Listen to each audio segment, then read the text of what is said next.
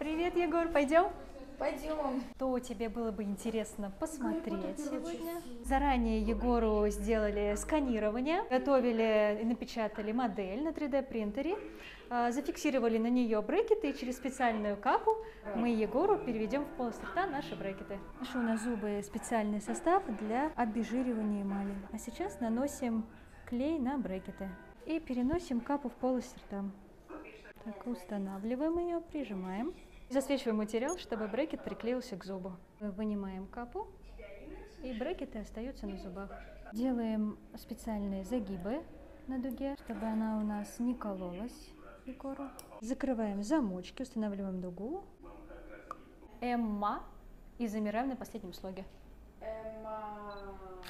Прикольно. Кушать хочешь, нет? Очень. Ты можешь рот закрыть? Нет. Разговаривать удобно. Да, удобно. У Егора мы видим выраженный наклон зубов на верхней челюсти. Будем избавляться от данной проблемы, которая беспокоит его больше всего. А также будем корректировать его прикус. Это ортодонтическая щетка специальная, здесь с прорезями для брекетов. И вот такая вот щеточка монопучковая называется. И вот такой ёршик. Монопучковая, она создана для того, чтобы вокруг брекета все вычищать. Чистим межзубной промежуток вот таким образом. Вычищаем сбоку брекет. Чем он толще будет, тем он лучше, потому что он заходит под дугу.